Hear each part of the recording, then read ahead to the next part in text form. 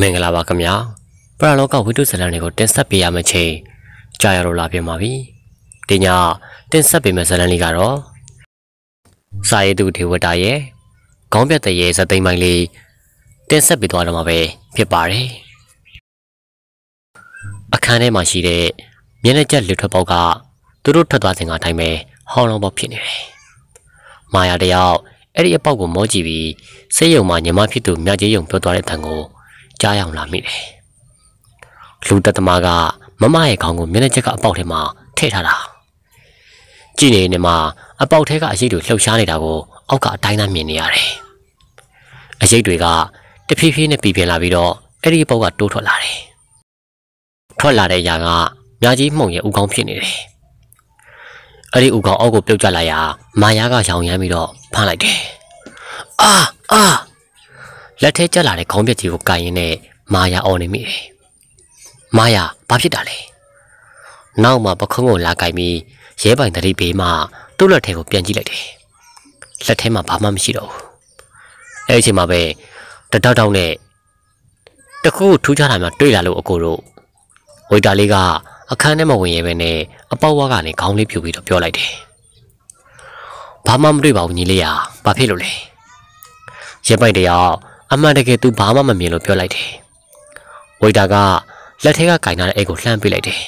။ဒီအိတ်ကမြကြီးမှုံရဲ့အိတ်ပါ။သူဒီမှာတခုဖြစ်ခဲ့ရင်ဒီအိတ်ကိုသူ့အိမ်ပြန်ပို့ပေးဖို့ကျွန်တော်တို့ကိုမှားခဲ့တယ်။သူအသက်ခံရပြီးကြံခဲ့တဲ့တခုတည်းသောအိတ်ပါ။ကျွန်တော်လည်းကြောက်လွန်းလို့သူ့အိတ်ကိုစတူကန်ထဲမှာသွားထည့်ထားခဲ့တာ။ရဲပိုင်တယောက်အိတ်ကိုလှမ်းယူလိုက်တယ်။ဝိတာလေးမျက်နှာက မျက်နှာကျက်ပေါက်ကိုကြည့်ရင်လည်းနောက်ဆုံးနောက်ဆုံးနဲ့ပဲထွက်သွားတယ်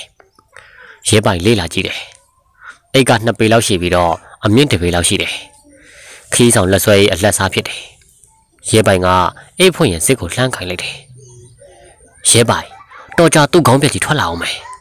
။မာယာပြောကြောင်းရဲပိုင်လက်တွန့်သွားတယ်။နောက်တော့မှ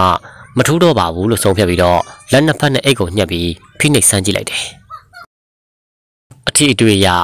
စက်ကူတွေစာရွက်တွေစာအုပ်တွေလို့ထင်ရတယ်။ခေါင်းပြတ်တော့မဟုတ်တော့ပါဘူးဟာ။ပြောရင်နဲ့ရဲပိုင်စစ်ကိုခတ်တွတ်တွတ်လေးဆွဲဖွင့်လိုက်တယ်။ဖွင့်ပြီးတော့အိတ်ကိုဟာကြည့်တော့စက်ကူတစ်ထပ်နဲ့စာအိတ်6အိတ်ကိုတွေ့ရတယ်။စာအိတ်ပေါ်မှာတော့ဒေါ်သူစားဆိုတဲ့အမည်နဲ့မော်လမြိုင်ကလိပ်စာတစ်ခုကိုတွေ့ရတယ်။ဒါကြောင့်တို့ပြန်မလို့တော့မြကျေးယုံတွေလိုက်ပြရစီလို့ဝင်ပြောတာမဟုတ်လား။စာတွေဒီလောက်တောင်ရေးခဲ့ပြီး သူ့အိမ်မပိုးလိုက်ရဘူးနဲ့တူတယ်။ဒါဆိုရင်တော့စာအိတ်ပေါ်ကလိပ်စာတိုင်းငါတို့သွားကြည့်ရအောင်။ရဲပိုင်ကမြကြီးမုံရဲ့လက်ဆွဲအိတ်ကိုလှမ်းယူရင်းနဲ့တကားဖွင့်ပြီးခန်းထဲကနေထွက်လိုက်တယ်။မာယာကလည်းအပြေးလွှမ်းနေပဲလိုက်လာတယ်။သူတို့ရီဇရှင်ကိုပဲဘာမှမမှားကြတော့ဘဲနဲ့ကားနဲ့ထွက်လာခဲ့တယ်။ဟူးတို့တငယ်ချင်းတွေရဲ့ကံကြမ္မာကလည်းအကုန်တူနေတာလားမသိဘူးနော်မာယာ။တထက်သေးတော့ တူမှာမဟုတ်ပါဘူးဟာဘာပဲပြောပြောငါမသေးချင်သေးတာတော့အမှန်ပဲဒီလိုနဲ့ပဲသူတို့ကားလေးမော်လမြိုင်ကို ပြန်ပြီးဥတီလိုက်တယ်မာယာတယောက်တူတူငငယ်လေးဖြစ်သွားပြီးအဝေးကရှုပ်ဝင်တွေကိုလှမ်းမြော်ကြည့်နေတယ်ကားကိုစက်တိုက်မောင်းလာခဲ့ရာမော်လမြိုင်ကိုရောက်လာတယ်လိပ်စာအတိုင်းမေးလာခဲ့ပြီးချန်တချန်ရှေ့ရောက်မှာတော့ကားရလိုက်တယ်အိတ်လေးဆွဲပြီးကားပေါ်မှာဆင်းပြီးခြံရှိရက်ပြီး တိတ်ဆိတ်နေတဲ့ခြံထဲကိုလှမ်းကြည့်လိုက်တယ်။အုံးပင်တွေနဲ့အုပ်ဆိုင်နေတဲ့နှစ်ထပ်ပြင်အောင်လေးဖြစ်တယ်။နှစ်ထပ်အိမ်လို့ဆိုပေမဲ့အိမ်ကတော်တော်ဟောင်းနှံ့နေတယ်။ခြံတကားကလည်းတော့ခတ်မထားဘူး။လူလည်းမမြင်တာကြောင့်ရဲပိုင်ရဲဆုံပြီးတော့ခြံတကားကိုဆွဲဖွင့်လာတယ်။မြေလေးလာလေးတိုင်းသူတို့ရှောင်းဝင်လာတော့တတုံတုံနဲ့တခုခုကိုခုတ်ထစ်နေတဲ့အတန်မျိုးကြားလိုက်ရတယ်။မာယာထိတ်လန့်သွားဟန်နဲ့ရဲပိုင်ရဲ့လက်မောင်းကိုဖတ်တွယ်လိုက်တယ်။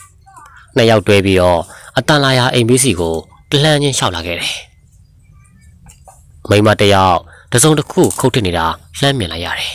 ။အဲ့ဒီမိမကအမဲသားတွဲတွေကိုဓားနဲ့နှုတ်ဆင်းရင်သူတို့ရှောက်လာတဲ့မင်းနီလန်းကလေးကိုကြောပေးထိုင်နေတယ်။အဲ့ဒီမျိုးသမီးကသူတို့ကိုလှည့်မကြည့်ပဲနဲ့နင်တို့ကိုဘယ်သူခွင့်ပြုလို့ငါချန်တယ်ဝင်လာတာလဲ။ခွင့်မတောင်းမဲ့ဝင်လာမိလို့ကျွန်တော်တို့တောင်းပန်ပါတယ် ဒေါ်သူသားဆိုတာခမရလားခုတ်ထစ်နေတာရက်သွားပေမဲ့လှဲမကြည့်တယ်လို့အဖြေလည်းမပေးဘူးအမဲသားကသာဆက်ခုတ်နေလို့ရဲပိုင်နေမှာရာဘလို့လဲဆိုတဲ့သဘောနဲ့အပြန်အလှန်ကြည့်မိကြတယ်မာယာအိတ်စစ်ကိုဖွင့်ရင်လည်းအထက်ကစာအိတ်တွေကိုထုတ်ယူလိုက်တယ်ပြီးတော့မှစာအိတ်တွေကိုထောင်ပြရင်းနဲ့ဟိုကျမတို့မြောက်ဝတီကလာတာပါအတော့ကိုဒီစာလေးတွေပြကျင်တော့ပါ အဲ့ဒီခါတော့မှခုံနေခြင်းကိုရက်ပြီးတော့သူတို့ကိုလှမ်းကြည့်တယ်ပြီးတဲ့နောက်မှာတော့ဓာတ်ကိုပြစ်ချရင်နဲ့ဟုံးကနေထရက်လိုက်တယ်သူမရဲ့မျက်နှာကအကြောတင်းတင်းခတ်ထမ်းမဲ့ပုံစံဖြစ်တယ်အတော့သမီးမြာကြီးမုံရေးခဲ့တဲ့စာတွေလာပို့တာပါမာရလက်ထက်ကစာအိတ်တွေကိုကြည့်ရင်နဲ့ခတ်ထန်နေတဲ့မျက်နှာကချက်ချင်းမဲ့အငိုဘက်ကိုပြောင်းလဲသွားတယ်စာအိတ်တွေကိုလှမ်းယူပြီးဒေါ်သူစာငိုချလေတော့တယ်။တမီညကြီးမုံ အမေတမီလေးအဲ့ဒီချိန်မှာပဲသတင်းပေါက်ကနေတစုံတယောက်ကသူတို့၃ယောက်ကိုကြည့်နေတယ်။အော်အားနာလိုက်တာကွယ်အိမ်ထဲဝင်ကြပါအောင်လား။ဒေါ်သူစာတယောက်သူ့သမီးရဲ့အိတ်ကလေးကိုဆွဲပြီးတော့ခေါ်သွားတဲ့နောက်ကိုရဲပိုင်တို့လိုက်သွားကြတယ်။အိမ်ထဲကပရိဘောဂတွေကလည်းဖုံလိမ့်လိမ့်နဲ့တွေ့ရအဝတ်နဲ့ဖုံတုပ်ပြီးတော့ထိုင်နေရတယ်။မာယာက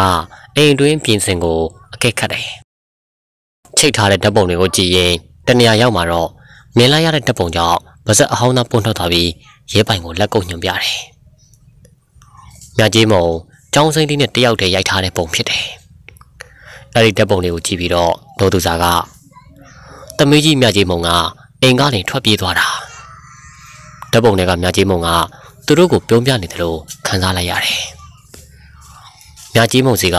ဘာတည်းမှမရတော့ဘူး။အိမ်ကိုလည်းအဆက်အသွယ်မလုပ်တော့ဘူးလေ။အတော်လဲသူ့ကိုဘယ်မှာသွားချရမလဲမသိခဲ့ဘူးလေ။ဒေါ်သူစားတယောက်ဝမ်းနဲ့ပက်လက်ငိုတန်ကြီးနဲ့ပဲ။တမီးနှစ်ယောက်ရဲ့ဖေရင်ကသူတို့ငငယ်လေးတွေကပိုးထိပြီးဆုံးသွားရှာတယ်။အတော်လဲတမီးနှစ်ယောက်ရဲ့ဘဝကိုမရက်တည်နိုင်တော့နောက်ပိုင်းတပင်လဲပြီးတပင်ထိုးလိုက်တယ်။မာယာစိတ်မကောင်းဖြစ်သွားပြီးဒေါ်သူစားကိုကြည့်နေရကနေ အကြည့်လွှဲပြီးတော့ဗီဒီယိုပေါ်တင်ထားတဲ့ဓာတ်ပုံမှန်ပုံလေးစီအကြည့်ရောက်သွားတယ်။အဲ့ဒီဓာတ်ပုံလေးကိုသူမမြင်မှုတလို့ရှိကတေချာအောင်မျက်မှောင်ကျုပ်ပြီးကြည့်မိတယ်။ဆေးရုံမှာမြကြီးယုံထုတ်ပြတဲ့ညီအမနှစ်ယောက်တည်းဓာတ်ပုံလေးဖြစ်တယ်။အတော့ဟိုဓာတ်ပုံတွေကညီမလေးကရောအငယ်မလေးမြကြီးယုံနဲ့ကြီးယုံလေးကသူ့အမကိုအတော်ချစ်ရှာတာ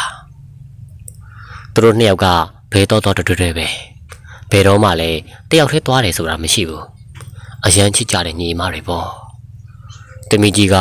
အမေကိုတောင်ဘာမှမပြောဘဲနဲ့အိမ်ကထွက်သွားတော့မြကြီးရုံလေးတစ်ချိန်လုံးငိုနေရှာတယ်တယောက်တည်းအထီးချံပြီးကြံခဲ့ရတာသူအခုအိမ်မှာပဲလားတော်တော်မာရစကားကြောင့်ဒေါသူသာခေါင်းရမ်းနေသူမမျက်နှာဝမ်းနဲ့ကြေကွဲမှုတွေရှက်တန်းလာပြန်တယ်ကြေးရုံလေးက အခန်းထဲကနေအခန်းပြင်ကိုမထွက်တော့ပဲတစ်ချိန်လုံးအခန်းအောင်းနေတော့တာပဲ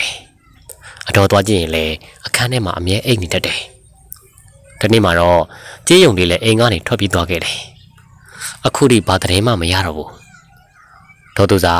သူမရဲ့တမီနှစ်ဦးလုံးတည်သွားပြီဆိုတာမသိရှာသေးတာကြောင့်ရဲပိုင်နဲ့မာယာတိတလောက်ကိုပြောပြလိုက်ရဒေါ်သူစာတယောက်ရှာကြီးတနေငယ်ငယ်နဲ့ပဲငိုကြွေးတော့တယ်အဲ့ဒီချိန်မှာပဲဒုံဟုံးဆိုပြီးတော့ အတန်နေကြလိုက်ရတယ်ရဲပိုင်ရောမာယာပါအတန်လာရစီကိုလှည့်ကြည့်မိကြတယ်ဒေါ်သူသားကတော့မျက်နှာပြတ်သွားတာကလွယ်ပြီးဘာမှမဖြစ်တယ်လို့ပြန်နေလိုက်တယ်သူတို့စကားပြောနေတဲ့နောက်ခန်းထဲကနေအတန်ထွက်လာခြင်းဖြစ်တယ်အတော့အခန်းထဲကဘာလို့လဲမသိဘူးနော်အတန်တွေကြားနေရတယ်ဒေါ်သူသားကပြပြတလဲနဲ့ဒါအတော်နောက်ယောက်ျားရဲ့အတန်ပါစိတ်မနှံ့ဘူးလေ သူဘိုက်စာနေပြီနဲ့တူတယ်ခဏကြာမှာတော့အခန်းထဲကနေခွက်တန်နေဆူညံသွားထွက်လာတယ်ကဲကဲပြန်ကြတော့မာယာနဲ့ရဲပိုင်ကြောင်သွားပြီးတော့မတ်တထရက်သူတို့နှစ်ယောက်ကိုတော်သူသားကအတင်တွန်းလှုပ်နေတယ်လှိုင်တန်ပါနေတော့အော်ဟစ်တန်တချို့ကိုထက်ချလိုက်ရတယ်အရှင်ကိုရိုင်းကနှင်ထုတ်နေတာကြောင့်ရဲပိုင်တို့လည်းပြန်ဖို့ပြင်ကြရတယ်တံပကံလွှတ်ပြတဲ့အတန်အော်ဟစ်တဲ့အတန်တွေတိတိတာတာကြားနေရတာကြောင့် သူတို့နှစ်ယောက်စလုံးစိတ်ဝင်စားသွားပြီးအဲ့ဒီခန်းထဲပင်ဝิญဉ်စိတ်တွေပေါက်လာရတယ်။မှောင်တော့မှောင်လာပြီ။မင်းတို့အိမ်ပြန်ရင်လဲကားကိုဂရုစိုက်မောင်းကြအောင်အပြင်ကြီးတော့နေမင်းကြီးကအားကောင်းနေစေဂရုစိုက်တယ်လို့နဲ့နောက်ကအတင်းတွန်းထုတ်နေတယ်အဲ့ဒီအချိန်မှာပဲအခန်းတကာဟလာတာကြောင့်နှစ်ဦးသားခေါင်းလင်းခဲ့ပြီးတော့အဲ့ဒီအခန်းထဲကိုပြိုင်လို့ကြည့်လိုက်မိတယ်။စပင်ဆုပ်ဖွာမုတ်စိမှုပြပြိုင်မှုပေါ်ရဖြစ်နေ ခြေထောက်မှာတန်ညွတ်တွဲလောင်းအချိတ်ခံရတဲ့လူတစ်ယောက်ကိုကရင်ပေါ်မှာသူတို့တွေ့လိုက်ရတယ်။တွားတွားကြတော့အခုပြန်ရတော့လေ။တော်သူစားကလည်းနောက်ကနေအော်ဟစ်နေကြပြီ။အခန်းထဲမှာထမင်းနေဟင်းတွေပွားစာကျဲနေတယ်။သူတို့အိမ်ပြင်ထွက်ရင်အံ့ဩတယ်လို့ပုံစံနဲ့တော်သူစားကိုကြည့်နေတယ်။ဒါဘာမှမဟုတ်ဘူး။တွားနောက်တီအိမ်ကိုဘယ်တော့မှပြန်မလာနဲ့ကြားလား။မာယာတို့ချန်ပီယံရောက်တာနဲ့ ခြံတကားကိုဂလန်ထိုးပြီးတော့ပိတ်ပစ်လိုက်တယ်။မာယာတို့ကားလေးထွက်သွားမှသမီးတို့ရဲ့အမေတောင်းမှန်ပါတယ်။တော်သူသာခြံတကားကိုမှီရင်းနဲ့ချုံမွေးချပြီးငိုကပြောလိုက်တယ်။အဲဒီအချိန်မှာပဲကားပေါ်ကဆင်းနေခဲ့တဲ့တရေမလေးမြကြီးယုံရဲ့ဝိညာဉ်ရိပ်လေးကခြံဝါကအမေဖြစ်သူကိုကြည့်ပြီးတော့မျက်ရည်တွေစီးကြလာခဲ့တယ်။တရေမလေးမြကြီးယုံတယောက်အမင်းလေးဝေဝါးလာပြီးတော့အတိတ်ကပုံရိပ်တွေကို မြင်အောင်လာမိတော့တယ်။ဒေါ်သူသားတယောက်မိဖို့ထဲမှာချက်ပြုတ်နေခိုက်တမင်ကြီးဖြစ်သူမြကြီးမော်ဝင်လာပြီးတော့မေမေပါချက်။အော်တမီးနေဦးလေးအကြိုက်လေဝမ်းနိုင်ုံနဲ့မြင့်ချင်ချက်နေတာ။အမေကလည်းအမေလင်အတွက်ပဲ။တမီးတို့မြင့်ချင်မကြိုက်ပါဘူးဆိုနေ။အဲ့ဒါပဲချက်နေတာပဲ။တမီးတို့ကဘာနဲ့သွားစားရမှာလဲ။မျက်နှာလေးစပုတ်ပြီးတော့ မြကြီးမုံပြောလိုက်တော့။ဩသမီးကလည်းမိမသားဘွားဆိုတာတားကိုသခင်လင်ကိုဖျားတဲ့။ဒီလိုပဲဦးစားပေးရတာပေါ့ကွယ်။သူကဘာများကောင်းနေလို့လဲ။အမေပဲရှာကျွေးနေရတဲ့ဥစ္စာ။ဒါတွေသမီးတို့ကြီးလာတော့တိမှာပေါ့ကွယ်။အမေတို့မှာမိမသားတွေကြီးပဲလေ။သူရှိတော့စော်ကားမော်ကလှုပ်ချင်တဲ့လူတွေမလှုပ်ရဲဘူးပေါ့။အားကိုရတာပေါ့သမီးရဲ့။ အမေလင်လားအားကိုရပါလိမ့်မယ်ဒေါ်သူစာရဲ့စိတ်ခံစားမှုတစ်ခုအတွက်သူတို့ညီမနှစ်ယောက်အလိုအလိုက်ထိုက်ပေးနေရတယ်သူ့အမေပြောတာအလုံးစုံမမှန်မှန်ညချင်းမုံသိနေမိတယ်သူ့အဖေရဲ့လက်ရင်တပည့်ဖြစ်တဲ့အောင်တင်ကအဖေဆုံးပြီးမကြခင်မှာပဲအမေနဲ့လုပ်ငန်းအားလုံးကိုတင်ပိုက်ခဲ့ခြင်းဖြစ်တယ်အောင်တင်ကရုပ်ချောပြီးတော့ဗလာတောက်တယ်လို့အပြောအဆိုကလည်းကျွမ်းကျင်တဲ့အပြင်အမိထက်၅နှစ်ငယ်တယ် ဒါကြောင့်လဲအမေကအယိုးမှုဖြစ်နေခြင်းဖြစ်တယ်။အဲ့ဒီအချိန်မှာပဲပထွေးဖြစ်သူအောင်တင်အပြင်ကနေပြန်လာတယ်။မိဘတွေကထွက်လာတဲ့မြာကြီးမုံနဲ့ပတ်ပင်တိုးတော့တယ်။အောင်တင်ကမြာကြီးမုံကိုပီတီတီကြည့်ပြီးတော့ပြုံးပြလိုက်တယ်။မြာကြီးမုံလည်းမျက်စောင်းထိုးပြီးမိဘတွေကနေဆက်ထွက်လာခဲ့တယ်။ဟင်းချက်နေတဲ့တော်သူစားကိုအောင်တင်နောက်ကနေတိုင်းဖတ်ပြီးတော့အနမ်းမိုးတွေချွေချလိုက်တယ်။ ခလေးတွေရှိတယ်ဆိုတဲ့သဘောနဲ့ဒေါ်သူစာအမူအရလုတ်ပြလိုက်မှအောင်တင်ကိုရှင်းတက်သွားတယ်။အဲဒီနောက်မှာတော့ဇုံတစ်ချောင်းယူပြီးသူ့အတွက်ချက်ပေးထားတဲ့ဝက်နိုင်ယုံနဲ့မြင့်ချင်ကိုခတ်မိလိုက်ပြီးတော့အာမမလက်ရတော်တော်ကောင်းတာပဲ။မောင်းတောင်ရှာလဲသွားပြီ။လိန်သွားလို့ပြန်ဖြောင်းရအောင်မယ်။ဟဲ့ဟဲ့မမမနှက်ပြန်ရိုးရရဘက်ကိုပစ္စည်းတွေသွားတင်လိုက်အောင်မယ်။ခါတိုင်းလိုမောင်းလဲလိုက်ခဲ့ပေါ့။ ဟောမလွတ်လပ်နေလို့ရတာပေါ့ဒေါ်သူစာပြောရင်းနဲ့စံကြော်လှော်နေတယ်အောင်နေတယောက်ခေါင်းကုတ်ဖင်ကုတ်ဖြစ်နေတယ်ပြီးတော့မှမောင်ဒီတစ်ခေါက်တော့မလိုက်နိုင်တော့ဘူးအေးလင်ရဲ့မင်္ဂလာဆောင်မှာဝိုင်းလုပ်ပေးရအောင်ပါဒီကောင်ကအသက်ကြီးတော့မှမင်္ဂလာဆောင်တာလေကြီးမဝတ်တက်ပေါက်တာကြီးဆိုတော့သွားပြီးမကူလို့မရဘူးမမရအမှန်တော့ဘာမင်္ဂလာဆောင်မှမရှိဘူးသူမလိုက်ချင်လို့ လီဆယ်ပြီးပြောလိုက်ခြင်းဖြစ်တယ်။သူ့မိတ်ဆွေအေးလွင်ဆိုတာကဒီတစ်သက်မိမမယူတော့တဲ့လူပြိုကြီးလို့တောင်းမယ်ဖြစ်ကြောင်းဆုံးဖြတ်ထားသူလည်းဖြစ်တယ်။အေးမောင်မလိုက်ရင်မမတယောက်တည်းသွားရမှာပေါ့လေ။အော်ဒီတစ်ခေါက်ပါမမရနော်။နော်လို့ချက်ပြုတ်နေတော့သူစားကိုအောင်တင်းကနောက်ကနေတိုင်းဖက်ပြီးခလေးလိုစိုးနဲ့ပူစားတယ်။အင်းပါမောင်ရဲ့ မမပြန်လာရင်သာမြို့ဝင်ခိတ်မှာလာကြဖို့မမေ့နဲ့နော်စိတ်ချပါမမရဲ့သူတို့ဒေတာကထုံးစံအတိုင်းရိုးရရားနဲ့ကုံတယ်ပြီးတော့ဆိုင်ဖွဲ့လက်လီလက်ကရောင်းချတဲ့လုပ်ကိုမေမေကသာဦးစီလောက်ကင်လှုပ်ဆောင်နေရတယ်ဒီတခါတော့မမေခီးထွက်သွားတာမြကျင်းမုံဘောအတွက်တစ်စစ်ချိုအပြောင်းလဲပဲဖြစ်တယ်မမေခီးထွက်သွားတဲ့ညမှာပဲတိုက်ဆိုင်စွာမြကျင်းမုံပြင်ဖြားတယ်ညာကြီးမိုးချုံမှအဖျားတက်လာတာမို့လို့ ကရင်တလုံးစီနဲ့တခန်းနဲ့အတူအိတ်တဲ့ညီမကိုလှမ်းနှုတ်ပေမဲ့အိမ်မောကြနေလို့နှုတ်မရဖြစ်နေတယ်ဒီလိုနဲ့ပဲအခန်းပြင်ထွက်ပြီးတော့အရေးပေါ်တောက်စီးမထားရဘီလိုရှိရကိုရှောက်လာခဲ့တယ်ဘီဒနာရောက်မှာတော့တရေနိုးလာတဲ့အောင်တင်နဲ့ပတ်ပင်ဆုံတွေ့တယ်ညကြီးမုံတမိပါဖြစ်လို့လေဖျားနေလို့ပါပထွေးအောင်တင်အနားကိုတုတ်ခနဲ့ရောက်လာပြီးတော့နှစ်ဖူးကိုဆန်းလိုက်တယ်မှန်စမ်းဟာ ချစ်ချစ်တော့ပူနေပါလားလာလာလာဒီမှာထိုင်အောင်တောက်စီးကောရင်လေးပါလှုပ်ပေးမယ်သူပြူးစရာမခံချင်ပေမဲ့မဟာနိုင်တော့တာမလို့မြကြီးမုံအသာလေးငြိမ်နေလိုက်တယ်အောင်တင်ကဆေးတွေရှာဖွေပြီးရေနည်းတစ်ခွက်ရောက်လာတယ်ရော့ဒါတွေတောက်လိုက်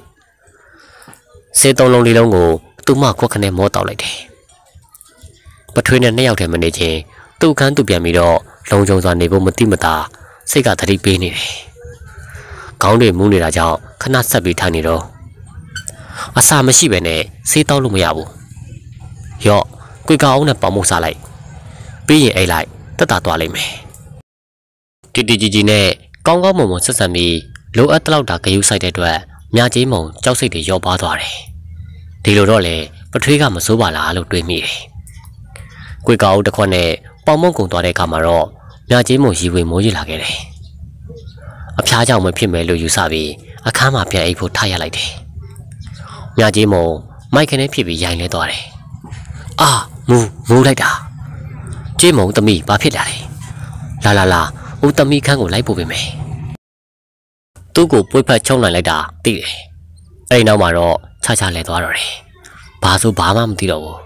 ။ကို့ကရင်မော်ကိုပြန်ရောက်သလားပထွေရောပြန်ထွက်သွားရလားဆိုတာဘာကုန်းမှသတိမထားမိတော့ဘူး အဖြစ်ပြက်တွေကိုမြကြီးမုံတိတစ်ချက်မတိတစ်ချက်ဖြစ်သွားတယ်မကြုံစဘူးထူခဲ့တဲ့ရတာမျိုးကိုတနင့်တဘူရရှိနေခဲ့တယ်ခံစားနေမှုရတာကနဲ့လိုပဲကောင်းတယ်လို့မောဟိုင်လွမ်းလျက်လုံးလာတာလေအကြိမ်ကြိမ်ပဲအချိန်တွေဘလောက်ကြာသွားတယ်မသိစိတ်နဲ့လူပြန်ပူးကတ်သွားခြင်းမှာသူမကိုယ်ပေါ်လေးပင်တဲ့အရာတစ်ခုဖိစီးထားတာသိသွားတယ်အခန်းကသူမအိတ်ခံမဟုတ်မှဟိုးတော်မြင်လိုက်ရတယ်သူမတကောလုံး ရိန်ထိုးလှုပ်ခါသွားခြင်းမှာတော့အရာရာကနောက်ကျလွတ်သွားခဲ့ပြီဘလူးစီးခံရတယ်လို့လို့တိမ်ပေါ်ကပြုတ်ကျလာတယ်လို့လို့ခံစားလိုက်ရပြီးနောက်ဆုံးတော့မြကြေးမုံတတိလိမိမျောသွားခဲ့တယ်နောက်နေ့မနက်9နာရီလောက်မှမြကြေးမုံအိယာကနေထနိုင်တယ်သူမအခန်းထဲကိုဘလူးပင်ရောက်နေတယ်ဆိုတာမသိညီမလေးကိုလည်းမတွေ့သူခရင်ပေါ်ကနေဆင်းလိုက်တယ်အပြိုပေါ်ဝင်စားလှသေးကြွယ်တဲ့သူမဘွားတစ်ခုလုံးဖြက်စီးခံလိုက်ရပြီပြီ ညနေညီမလေးကျောင်းကပြန်လာချိန်အထိမြကြီးမုံတယောက်တည်းအခန်းထဲအောင်ပြီးတော့ကျင့်ကိုရင်မှာပါဘာမှမတတ်နိုင်တော့တဲ့ဘွားဖြစ်လာခဲ့တယ်အောင်တင်ကတော့အောင်နိုင်သူတယောက်လိုအခန်းမှာအရက်နဲ့အမိကိုမရေရှက်ရေစားသုံးနေတယ်ညီမလေးကျောင်းကပြန်လာရင်အခန်းထဲဝင်လာတယ်မမနေမကောင်းဘူးဆိုလို့အိုးအိုးပြောတယ်အင်းဟုတ်တယ်ညီမလေးကဲရေးသွားချို့တော့မမအခန်းရှင်းထားမယ်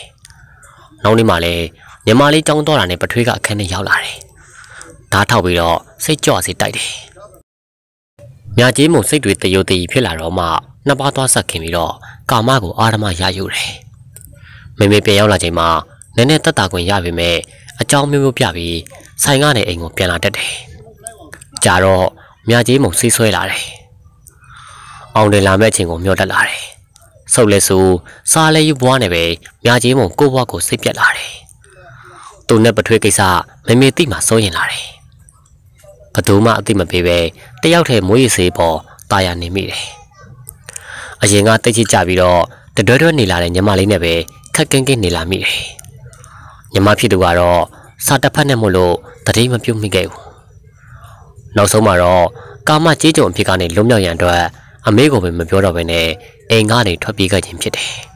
။အောင်တင်ကတော့အမေကိုယူလို့အားမရပဲ တမီးကိုပါထပ်ယူထားကြောင်းအမေနဲ့တလင်နဲ့မရဖြစ်ကနေရုံထွက်ရန်မြကြီးမုံမြောက်ဒီမှာနားခိုပြီးတော့ကိုဘွားကိုရုံကန်နေလိုက်တယ်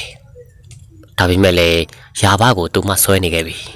။အဲ့ဒီဆေးတောက်ပြီးတာနဲ့တကိုယ်လုံးစိတ်လက်တက်ကြွပြီးတိမ်နေပြန်ဝင်ရင်နှက်ပြေကိုရောက်တည်လာခံစားရတာကြောင့်အစွဲကြီးစွဲနေခဲ့ကြပြီဆေးတောက်ထားချိန်မှာတနေ့ကုန်မနာတမ်းအလုံးလုံးနိုင်ပေမဲ့ဆေးအာနေတင်ပြတ်သွားပါကဂရင်မော်ကနေမထနိုင်တော့ဘူးအဲ့ဒီဆေးတောက်မှ သူမအသက်ဆက်ရှင်နိုင်တယ်လို့ခံစားရပြီးတော့ဆေးမတောက်ရင်မနေနိုင်အောင်ဖြစ်လာခဲ့ရတယ်မြကြီးမုံအိမ်ကထပ်သွားတော့ဘာမှမသိချတဲ့ဒေါ်သူစာနဲ့ညီမလေးတို့ကတော့မြကြီးမုံဘယ်တော့ပြန်လာမလဲဆိုပြီးတမမျောနဲ့ပဲဝမ်းနဲ့ပက်လက်ဖြစ်နေရတယ်မြကြီးမုံမရှိတော့သူ့အပေါ်အမင်ဆောင်မှာအဖြစ်မှန်တွေရိပ်မိတော့မှဆိုပြီးတော့အောင်တင်ခဏငြိမ်သွားတယ်မမသမီးလင်းနောက်လိုက်သွားတာပဲဖြစ်မှာတကယ်ဗျာ မိသားစုအဆက်ရအောင်လုပ်တာပြန်လာရင်လုံးဝလက်မခံနဲ့တိလာမမအဲ့ဒါဘယ်တော့မှမပြောင်းလဲတဲ့မောင်ရဲ့သဘောပဲအသက်ငယ်ငယ်လင်းလေးကိုအစွဲကြီးစွဲနေတဲ့ဒေါ်သူစာကလည်းအားကောင်းမောင်းတန်အချစ်တွေကိုတတ်မှတ်စိတ်နဲ့မောင်းသဘောလို့လိုက်ရောခဲ့တယ်။တမီပြောက်ကိုပဲလိုက်မရှာပြတော့ဘူး။ဒါပေမဲ့၁၇နှစ်အရွယ်မြကြီးယုံလေးရဲ့တင်ငါမကင်းတဲ့မဲလုံးတွေနဲ့ကြီးခံရများလာတဲ့အခါအောင်တင်စိတ်မလုံတော့ဘဲနဲ့စင်ကြံချမ်းမြန်တယ်။ သူ့အမမြကြီးမုံကိုနေဆက်မှာတွေ့ခဲ့ရတယ်လို့လင်ညာပြောလိုက်တယ်။အမကိုတွေ့ရင်သူမအမေမသိအောင်စီစဉ်ပေးမယ်လို့အယုံသွင်းလိုက်တယ်။အမကိုလွမ်းဆွလွန်နေတဲ့မြကြီးယုံကလည်းအောင်တဲ့စကားကိုယုံစားပြီးတော့သူ့အမေမသိအောင်ခေါင်းညှိလိုက်တယ်။အဲဒီခါမှာတော့အောင်တင်ကလည်းရိုးရရဘက်ကိုလူကုန်ကူးတဲ့ဒူးဆဲအဖွဲ့နဲ့ထည့်ပေးလိုက်တယ်။ သူမရောင်းစားခံလိုက်ရတာကိုမသိတဲ့မြကြီးယုံတွေကတပ်ဖက်နိုင်ငံကူးတဲ့ချိန်ရောက်တော့မှမလိုက်လူတာကြောင့်အပြင်းထန်ရုံးကန်ထွက်ပြေးလိုက်ရဒုစရိုက်ဖွဲ့ရဲ့လိုက်လံရက်ပုတ်ချင်းခံရပြီးတနာဆက်ပွဲတေဆုံးခဲ့ရတယ်။တမီးကြီးကအိမ်ကထွက်သွားပြီးမကြခင်တမီးငယ်ပါပျောက်သွားတော့ဒေါ်သူစာတန်တရားဝင်လာတယ်။ဒါပေမဲ့လည်းတက်သိမရှိသလိုဆွဆွဲရန်လည်းအာတိတပြင်းပြင်းချစ်ချင်းကခွင့်မပြုနိုင်ရပဲနဲ့ရှိနေတယ်။နေဘွားက ဥပဒေချောင်းရဘေးမသိရန်မခခဲ့ပေမဲ့ပရလောကသာဖြစ်သွားတဲ့သမီးငယ်မြကျေးယုံရဲ့ခွင့်လွှတ်မှုကိုတော့မရခဲ့ဘူး။လင်မယားနှစ်ယောက်တည်းကြံခဲ့တဲ့အင်ဂျီမှာအချောက်လက်တွေရှိလာတယ်။ဒေါ်သူစာကိုယ်တိုင်ဘာမှမကြုံရပေမဲ့အောင်နှင်းအတွက်ကတော့အိမ်မက်ဆိုးတွေကညတာရှိခဲ့တယ်